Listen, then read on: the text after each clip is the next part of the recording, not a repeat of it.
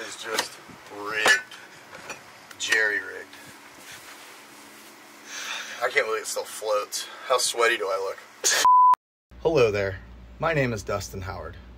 My team and I are the people who created Last Local, the funny, tongue in cheek, sarcastic brand that everybody's had so much fun with, including us. Recently, we came into a bit of a trademark issue. The good news is, we came up with a name that fits the brand even better, but it's still soaked in all the humor and sarcasm as the old brand. It's a combination of the words you and ain't. I present to you, Yain't Local. You can say y'all all you want. Here you go, sweetie. Thank you. But you ain't local.